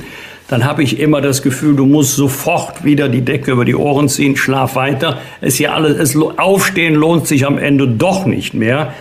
Also meine Vermutung ist, es geht alles weiter und es wird auch nicht immer alles schlimmer. Also wir haben genug Grund zur Sorge, vielleicht sogar auch Angst zu haben. Aber das sollte doch nicht unser ganzes Leben bestimmen. Und jetzt mal Daumen runter für alle, die in Ohnmacht gefallen sind. UN-Hilfswerk im Gazastreifen, UNWRA abgekürzt, etwa ein Dutzend sollen, also UNWRA-Mitarbeiter, sollen am Überfall auf Israel am 7. Oktober 2023 und der massenhaften Ermordung von über 1200 Menschen beteiligt gewesen sein. Wohlgemerkt, Mitarbeiter eines humanitären Hilfswerks der Vereinten Nationen. Und dann fallen hier die Leute reihenweise in Ohnmacht. Auf welchem Planeten leben sie denn? Das war doch seit Jahren bekannt, äh, dass äh, in der, in der UNRWA, da muss man sich vor allen Dingen mal die, die Schulunterlagen ansehen, was da gelehrt wird. Das ist der offene Hass gegen Israel, finanziert von der Staatengemeinschaft der Erde. Die UNRWA im, im Gazastreifen ist ein ähm, humanitärer Großkonzern. Tausende, viele tausend Menschen arbeiten für diese Organisation der Vereinten Nationen. Und die haben doch immer schon auf der Seite der Hamas gestanden. Immer schon. Die Überschrift war humanitäre Hilfe für die Menschen im Gazastreifen. Aber wer sich auch nur ein bisschen für die Materie interessiert hat, der muss doch gewusst haben, was dort getrieben wird an äh, antisemitischen Vorurteilen äh, dort befördert wird. Und jetzt fallen wir alle in Ohnmacht, weil ein Dutzend daran beteiligt waren oder beteiligt gewesen sein sollen. Es ist richtig, dass auch die Bundesrepublik Deutschland die Zahlung eingestellt hat. Und wenn wir da nicht zu einem, einer Generalrevision kommen oder ganz andere UN-Behörden oder internationales Rote Kreuz oder UNHCR einsetzen, wird sich im Grunde dort nicht viel ändern, auch wenn der Krieg, Klammer auf, hoffentlich möglichst bald, Klammer zu, endet. Christian, was hat dich geärgert oder gefreut? Ja, nach diesen schweren Themen, die du gerade ja da angebracht hast, äh, mal zwei leichte Themen. Daumen, ist jetzt schon fast eine Woche her, Daumen wirklich hoch für Jürgen Klopp. Ähm, der selbstbewusst und selbstbestimmt beim FC Liverpool gesagt hat, Freunde, ich kann nicht mehr, ich höre auf der Höhe des Erfolges auf, ich bin ausgebrannt, ich kann nicht mehr so alles geben, wie ich das möchte und wie ihr das von mir gewohnt seid, finde ich großartige Entscheidung, äh, was dieser Mann äh, da gesagt hat. Und mich wundern dann Schlagzeilen äh, in derselben Überschrift. Klopp hört auch nächster Bundestrainer, obwohl er ja eindeutig gesagt hat, er macht ein Jahr Pause. Und das heißt, wenn, wenn er jetzt sagen würde, okay, ich höre im Juni auf und im Juli bin ich dann nach der EM Bundestrainer und dann würde das nicht funktionieren, würde sagen, ja, ausgebrannt und so weiter und so fort. Also für mich erstmal Daumen hoch für Jürgen Klopp, für so ein zweimaliger Welttrainer, äh, Fußballtrainer des Jahres gewesen und alles erreicht und alles gewonnen, äh, finde ich äh, phänomenal. Respekt für diese Entscheidung. Und dann nochmal im Zuge von Fußball, mal nochmal eine Lanze für den DFB-Pokal äh, brechen. Es stehen jetzt zwei zweite Bundesliga-Vereine äh, ja, toll, ne? im, Halb, im, ja. im, Halbfinale, genau. Und ein Dritter hätte sogar noch die Chance, nämlich Saarbrücken gegen Mönchengladbach.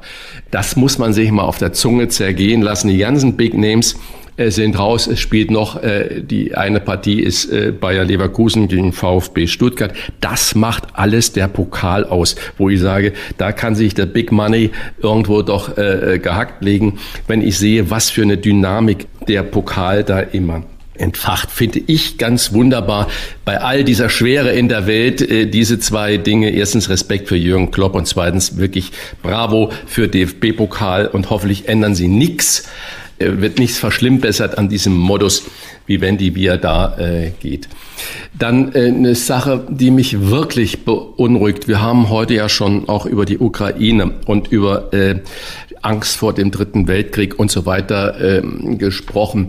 Wenn ich dann sehe, äh, und lese, dass der Betrug bei der Waffenbeschaffung, speziell Granaten in der Ukraine, dass man da mal eben wieder 40 Millionen Dollar Betrug äh, aufgedeckt hat, wo Gelder geflossen sind, aber nichts geliefert wurde, also eine Hand in die andere Tasche und so weiter und so fort wenn ich sehe, wie wenig Beachtung das dann äh, in der Weiterverfolgung in den Medien stattfindet, wenn ich dann noch mich erinnere, dass vor einem Jahr oder anderthalb Jahr der oberste Verfassungsrichter der Ukraine bei der Geldübergabe, bei der Geldannahme von fast drei Millionen Euro erwischt wurde, wie wenig Nachhalt das alles findet. Und ähm, dann wird mir Angst und Bange, was die Zustimmung angeht, wo ich sage, wir müssen auch kritisch dieser Situation gegenüber bleiben. Das heißt, ich sage, wir müssen die Ukraine unterstützen. Wir sollten aber auch schauen und nicht diese Meldungen einfach unter den Tisch fallen lassen, weil auch das gehört äh, zur ganzen Wahrheit. Im Zuge dessen äh, auch Ukraine und wir haben mit Frau Göring über die Nazizeit ähm, gesprochen, finde ich vorausschauend ist heute.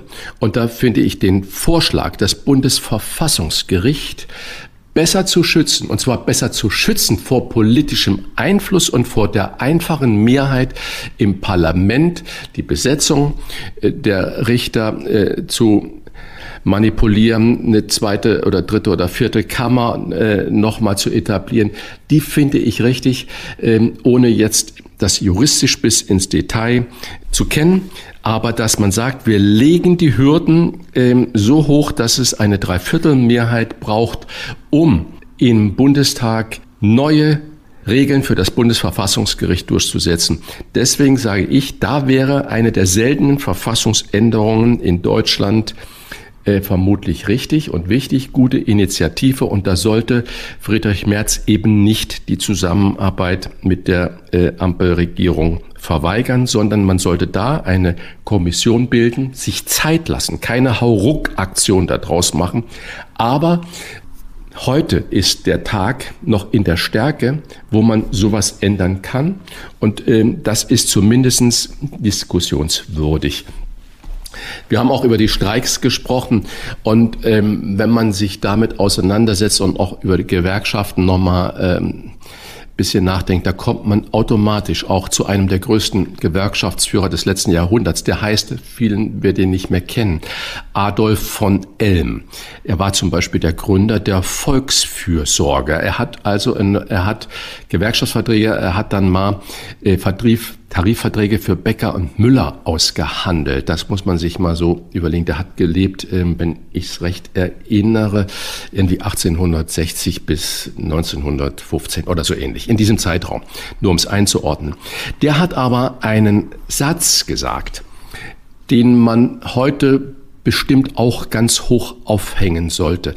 Also Adolf von Elm sagte, weil die Mitarbeiter von den Bäckern und den Müllern unzufrieden waren mit dem Tarifvertrag. Er sagte, gewiss, ich zitiere, gewiss, wenn man an das zu gewährende den Maßstab des Wünschenswerte anlegt, sind die Lohn- und Arbeitsverhältnisse in den Konsumvereinen auch noch keine Ideale. Die Genossenschaften aber müssen sich in der heutigen kapitalistischen Welt selbstverständlich nach der Decke strecken. Sie können die Forderungen ihrer Arbeiter und Angestellten auch nur insoweit bewilligen, als die ihre Konkurrenzfähigkeit mit den Privatbetrieben zulässt.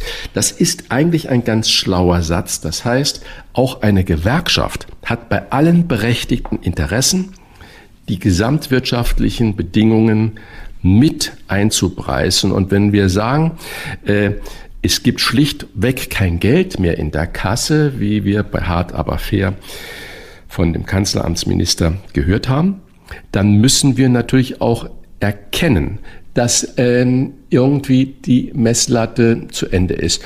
Das hört ja nicht auf damit, dass wir sagen, okay, wir müssen gucken, was macht man mit Übergewinnen und so weiter und so fort. Darüber kann man trefflich diskutieren. Aber es ist eigentlich ein ganz schlauer Satz von Adolf von Elm. Und noch eine Sache, äh, die mir als äh, Nicht-Jurist auffällt. In St. Pauli wurde ein Mann niedergestochen. Okay, das ist jetzt nicht so selten, dass es da auch mal zu solchen schlimmen Gewalttaten kommt. Das Verbrechen an dem Mann, der gerade so noch überlebt hat, fand im Mai 2022 statt. Es gab auf dem Platz, wo das passierte, Überwachungskameras mit glasklaren Bildern und man hat vier Männer gesehen, die das getan haben. Die Polizei hat sich 20 Monate vergeblich bemüht, eine Öffentlichkeitsfahndung mit diesen Bildern durchführen zu dürfen. Jetzt wurde erst das genehmigt, nach fast zwei Jahren. Ich glaube, äh, es gibt gute Gründe, dass man nicht sofort mit diesen Bildern losgeht. Die polizeilichen Möglichkeiten müssen, glaube ich, ausgeschöpft sein. Da kann Wolfgang Bosbach noch was dazu sagen. Aber nach fast zwei Jahren zu sagen, okay, es hat alles nichts gebracht. Wir hätten ja eigentlich fast schon ein Todesopfer gehabt. Jetzt veröffentlichen wir mal Fotos. Das kann man in der Bevölkerung eigentlich niemand mehr erklären. Die Öffentlichkeitsfahndung ist an sehr, sehr hohe Hürden geknüpft.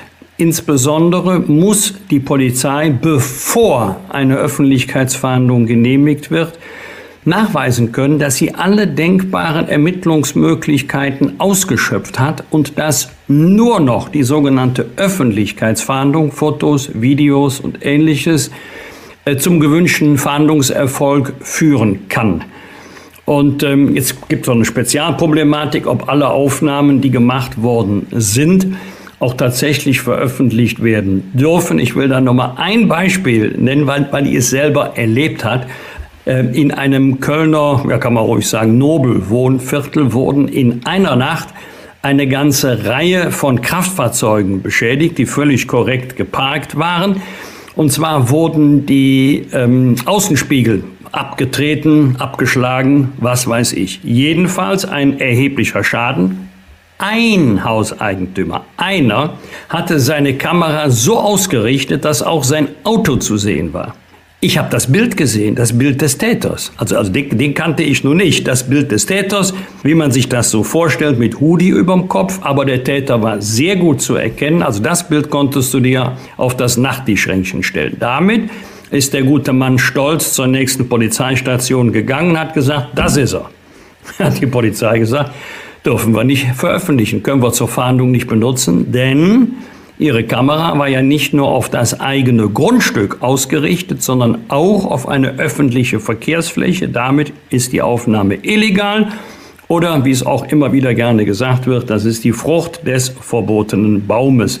Ich weiß nicht, wie es weitergegangen ist. Ich weiß nicht, ob man den Täter dann doch noch bekommen hat oder ob der immer noch frei rumläuft und sein Unwesen treibt. Also es geht um sehr hohe Hürden. Wann ist es überhaupt möglich? Und es geht darum, wie sind die Aufnahmen tatsächlich entstanden. Was wird? Was wird? Wolfgang Bosbach und Christian Rach sind die Wochentester. Am Sonntag werden in Paris die Bürger befragt zur Verdreifachung der Parkgebühren für schwere Geländewagen. Die Stadtverwaltung plant einen Sondertarif für große Autos von 18 Euro pro Stunde im Zentrum und 12 Euro in den Außenbezirken. Also fünf Stunden parken, entweder 90 oder 60 Euro.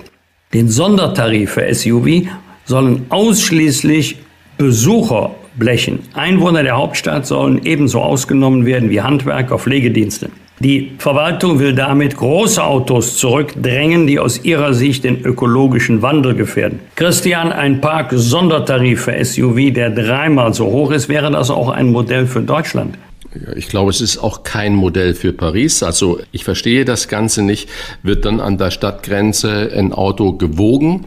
Äh, was ist denn mit einem schwereren Mercedes S-Klasse oder Audi A8 oder BMW 7er oder ein Toyota Lexus oder egal welches Auto, die ja vermutlich genau dieselben Emissionen und Ausmaße haben wie in SUV. Was heißt schwerer Geländewagen? Also äh, muss man dann gucken, dass man Gewicht ablädt, die Koffer zum Beispiel an der Stadtgrenze lässt oder mit dem Taxi reinfährt. Das ist alles noch so unausgegoren. Ich verstehe natürlich den Ansatz da, ähm, der aber doch vieles nicht trifft. Was ist mit einem Mercedes Vito, wo du mit deinen fünf Kindern unterwegs bist, was oder mit einem VW Bulli? So eine Regelung wirft mehr Fragen auf, mehr Kontrollwahnsinn auf, mehr Probleme und Gerechtigkeitsdinge. Vermutlich wird sie auch nicht gerichtsfest sein, äh, als dass sie irgendwas bringt. Da finde ich eine generelle Gebühr für in die Innenstadt fahren, wie es zum Beispiel in London ist, für viele Straßen im direkten Zentrum, äh, eine bessere Handhabe als so eine un sinnige Moment. Also baut den öffentlichen Nahverkehr so aus, wenn es jetzt für Deutschland ist, in Paris kann ich nichts beurteilen, wie das da dann geht. Natürlich war ich in Paris, aber ich weiß nicht, wie ausgebaut der öffentliche Nahverkehr ist. Für mich als Tourist ist er toll. Dann haben wir auch ähm, dieses Problem mit dem Hineinfahren nicht. Und wenn ich dann sehe, dass in Hamburg die Park-and-Ride-Plätze an den S-Bahnhöfen, die dann im Stadtrand liegen, gebührenpflichtig auch noch sind, dann verstehe ich das Ganze nicht. Es geht eigentlich dann nur darum, äh, irgendwie Geld zu generieren und dann ist der Umweltaspekt eigentlich gar nicht mehr äh, vorhanden. Also ich erachte das nicht für ein Modell für Deutschland. Am Montag wird der SPD-Politiker Kurt Beck 75 Jahre alt. Ich sehe ihn immer noch vor mir mit seiner Fokuhila-Frisur. Eigentlich, ich musste immer äh, schmunzeln, ohne ihm jetzt da zu nahe zu treten. Er hatte immer wirklich sehr lange Haare im Nacken über den Hemdkragen hinaus. Er war ja rheinland-pfälzischer Ministerpräsident von 94 bis 2013 und auch mal kurzzeitig zwei Jahre SPD-Vorsitzender, nämlich von 2006 bis 2008. Wolfgang, in Berlin so scheint es, ist Kurt Beck als SPD-Chef nie wirklich angekommen. Man kann sogar sagen, er ist gescheitert. Äh, ist die Hauptstadt, braucht die Hauptstadt andere Qualitäten, als man sie zum Beispiel in Rheinland-Pfalz oder im Saarland. Ich erinnere an Annegret Kramp-Karrenbauer, äh, die ja dann auch Bundesvorsitzende sein sollte und Nachfolgerin von Angela Merkel werden sollte. Helmut Kohl drohte anfänglich ebenfalls ein ähnliches Schicksal. Frage jetzt an dich, wie muss man als Politiker sein, wenn man aus der in Anführungsstriche Provinz in die große weite Hauptstadt zieht und sagt, in Berlin, da zeige ich es auch, dass es gelingen kann, was ich zu Hause in meiner Provinzhauptstadt schon erfolgreich äh, getan habe. Also ich bin weit davon entfernt zu sagen, auf der einen Seite die Laienschauspieler aus den Bundesländern, die Landespolitiker, auf der anderen Seite die Profis, in Berlin, also, also die Bundespolitiker. Äh, Im Moment läuft es ja genau umgekehrt. Boris Pistorius war lange Zeit Innenminister von Niedersachsen und ist heute der populärste Politiker im Lande überhaupt. Also es gibt für beides ähm, gibt es Beispiele. Generell gilt, ich habe auch sehr viele erlebt, die aus den Ländern kamen und dann enttäuscht waren, dass sie nicht in Berlin oder früher in Bonn eine ähnliche Bedeutung hatten wie in den Landeshauptstädten oder wie in den Bundesländern. Der eine oder andere wird antreten mit der Maßgabe, zu Hause bin ich der Größte, dann bin ich das in Berlin ganz bestimmt auch. Nein, da gibt es auch viele andere Größen. Und man hat natürlich eine ganz andere Themenbreite in der Bundespolitik, als das auf Landesebene der Fall ist. Und wenn du Führungsfunktionen hast, musst du im Grunde in all diesen Themen so fit sein, äh, dass man übrigens auch permanent mit guten Argumenten Auskunft geben und Fragen beantworten kann. Und du hast natürlich in Berlin eine viel größere öffentliche Beobachtung rund um die Uhr als in Saarbrücken, in Mainz oder in Kiel. Jeder Satz, jedes Wort wird sofort seziert. Heute geht es ja nicht mehr um die Frage, was hat er gesagt, sondern was kann man aus dem machen, was er gesagt hat. Also es ist keine höherwertige Baustelle, es ist eine andere Baustelle in Berlin. Der eine kommt dahin gut zurecht, der andere fremdelt ein bisschen. Und äh, man sollte nicht glauben, wenn man zu Hause sozusagen der Größte war, dass sich das nach Berlin eins zu eins übertragen lässt. Deshalb sollte sich es jeder gut überlegen, an welcher Stelle er arbeitet, mit welchem Arbeitsschwerpunkt. Das gilt dann allerdings in der Küche genauso wie in der Politik. Darf ich eine Nachfrage stellen? Ja, klar. Armin Laschet ist ja auch gescheitert, Landespolitiker, NRW-Ministerpräsident. Ich habe die Rede von Daniel Günder bei der Verleihung des Ordens wieder den tierischen Ernst äh, in Aachen gesehen da hat er ja gut performt. Und er regiert ja auch lautlos und kompromissbereit äh, mit den Grünen in Schleswig-Holstein. Was würdest du Daniel Günther raten, wenn er dich fragt, lieber Wolfgang, soll ich nach Berlin oder nicht? Also erstmal entscheidet er das nicht alleine, das müsste ja dann die ganze Partei entscheiden. Dann wäre die wichtigste ja, ich meinte Frage, das inoffizielle Telefongespräch, ja, ne? Ja, nein, ich, ich, ich, ich verstehe das schon. Aber ich weiß gar nicht, ob er den Ehrgeiz hat. Aber wenn er ihn hätte, würde ich sagen, Herr Günther, überlegen Sie sich das sehr, sehr gut. Denn äh, es ist schon ein Unterschied, ob man in Kiel, die Landesregierung, wie auch in Nordrhein-Westfalen, arbeitet ja doch, jedenfalls nach meiner Einschätzung, erfreulich geräuschlos. Die tragen auch nicht Unterschiede jeden Tag auf dem Marktplatz aus wie in Berlin.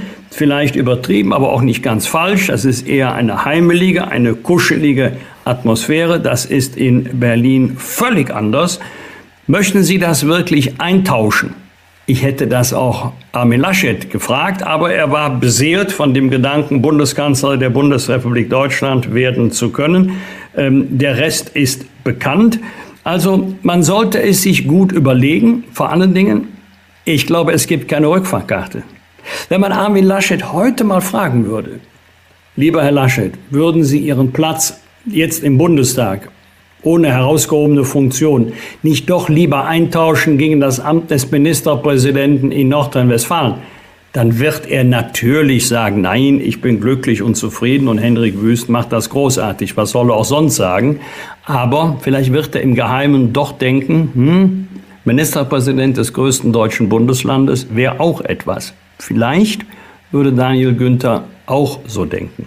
Auch wenn es nicht das größte Bundesland ist, aber ein wunderschönes Schleswig-Holstein. Das ist ja Nordrhein-Westfalen auch nicht, es ist nur das bevölkerungsreichste. Christian, du bist eindeutig ein der Schlauere von uns. Am Montag feiert der Hersteller Ferrero den 60. Geburtstag von Nutella mit einem Welt-Nutella-Tag. Die Geschichte von Nutella beginnt nach dem Zweiten Weltkrieg. Damals stellte die Kakaoknappheit die Chocolatier in Europa vor eine große Herausforderung. So auch Pietro Ferrero, ein Konditor aus dem Piemont in Italien. Der hatte eine tolle Idee. Er kreierte eine süße Paste aus Haselnüssen, Zucker und ein wenig des sehr seltenen Kakaos, aus der Kakaobohne. Damals war 1946 die Geburtsstunde des Vorgängers von Nutella besiegelt. Im Hause Ferrero wurde fortlaufend an der Weiterentwicklung der Paste getüftelt, bis sich 1951 die Supercrema als cremigere Variante durchsetzte. Sein Sohn Michele war es schließlich, der das Rezept weiter verfeinerte, bis 1964 das erste Glas der neuen Nuss-Nougat-Creme in den Handel ging.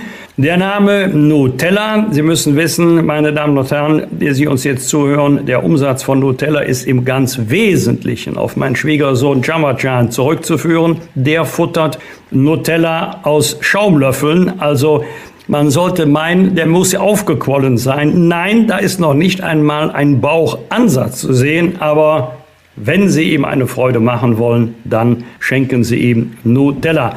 Christian, das passt nicht. Oder bist du in der großen Nutella-Geburtstagsfeier im Hamburger Alster-Pavillon dabei? Isst du schon mal Nutella oder sagst du nein? Als Gourmet und außerdem, ich muss auf meine Figur achten. Ich nehme Knäckebrot. Also ich könnte jetzt ja, nein, ja, nein auf alle diese Fragen antworten. Aber was es, was es alles gibt, also Nutella Geburtstagsfeier im Alster Pavillon, richtig toller Marketing-Gag finde ich. Also und wir sprechen sogar noch darüber. Äh, das ist also wirklich äh, kostenlose Werbung. Was soll ich dazu sagen? Nein, ich äh, mochte Nutella noch nie, auch als Kind nicht. Aber ich habe irgendwie so als du Kind warst, gab's ja noch gar kein Nutella. Oh, das machst du mich älter als ich bin. Also nur weil die Haare ausgehen, lieber Wolfgang. Also, äh, so, ich, ich weiß nicht, ich mag diesen Nuss-Nougat-Geschmack nicht, äh, aber auch bei Pralinen nicht oder sonstiges. Ähm, das ist einfach nicht, äh, nicht mein Geschmack. Natürlich auch, haben wir auch früher mal oft Desserts hergestellt mit Nuss-Nougat-Creme oder Eis. Das war aber nie so meines. Das heißt also, ich bin weder Nutella-Fan, noch verteufel ich das, aber wenn meine Tochter Nutella mit dem Löffel irgendwie essen würde, hätte ich gesagt, hörst du mal bitte auf damit. Du kannst das auf deinem Brötchen schmieren, aber nicht löffelweise wie dein Schwiegersohn. Also ich äh, bin da äh, wirklich schmerzfrei. Ich habe da null Ambitionen zu und ich bin auch kein Nutella-Freund. Gibt's im Hause Rach auch nicht irgendwo versteckt im äh, Kleiderschrank stehen oder sowas für heimliche Nutznießer. Nee, der Redaktionsleiter bekennt, dass er Nutella-Fan ist, aber das tut jetzt nicht weiter was zur Sache. Jetzt mal ganz Schließe ehrlich, mich dem Schwiegersohn da an. Jetzt mal nicht, dein, nicht eine, äh, eine persönliche Neigung oder Abneigung zu Nutella, sondern mal den Koch gefragt.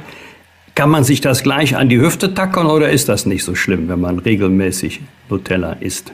Das kann, ich kann nur sagen, ich glaube, dass Nutella einfach zu süß ist, einfach zu viel Zucker hat. Und wir wissen heute, es geht gar nicht so sehr um an die Hüfte tackern, sondern es geht ja eigentlich bei diesen Dingen um unsere Gefäße. Zucker, weiße Mehle und Fette.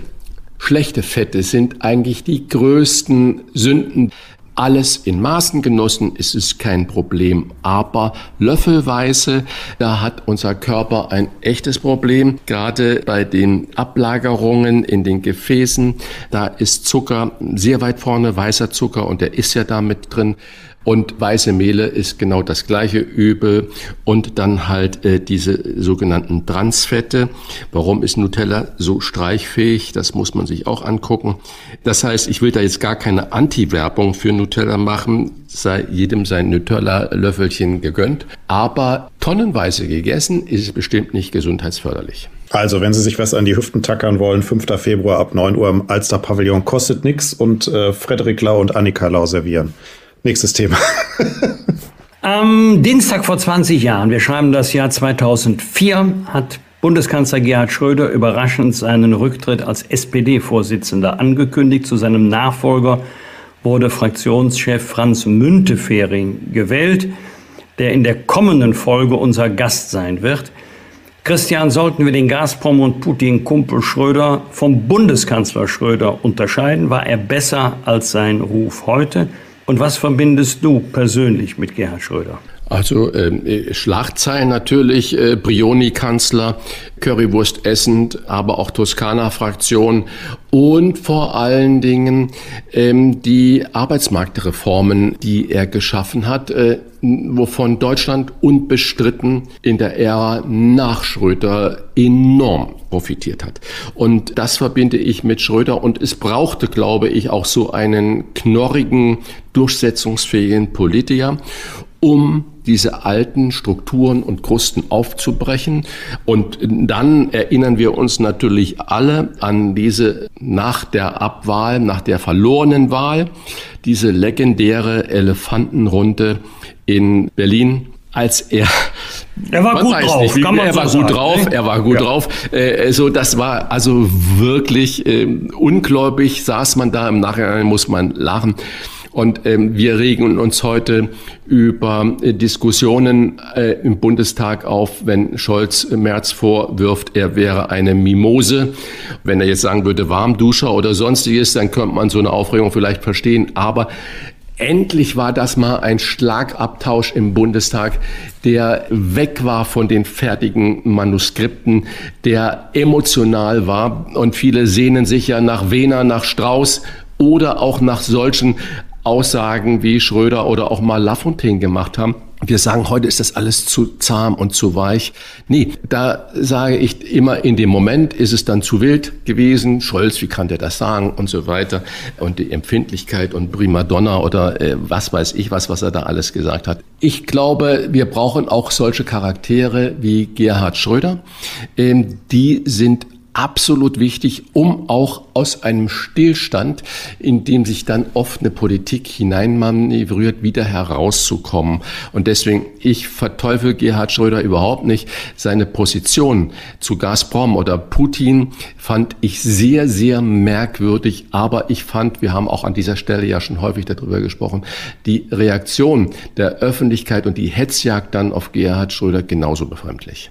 Erfreuliches Thema. Nächsten Donnerstag, Wolfgang. Für dich erfreulich. Für mich ist es eigentlich, geht's hier rein, da raus. Am nächsten Donnerstag um 11.11 Uhr .11 wird der Straßenkarneval im Rheinland eröffnet. Äh, ich glaube, das nennt man Jungweiberfassnacht bei euch. Wolfgang, wo trifft man dich denn im Karneval? Und da du ja schon auf Sitzungen warst, ich habe immer schon mal ein paar Bilder gesehen, die du gepostet hast, hast du in, äh, wie heißt es, Sessionshit, dem du die größten Mitsing-Faktor zutraust oder kommt da nichts Neues mehr?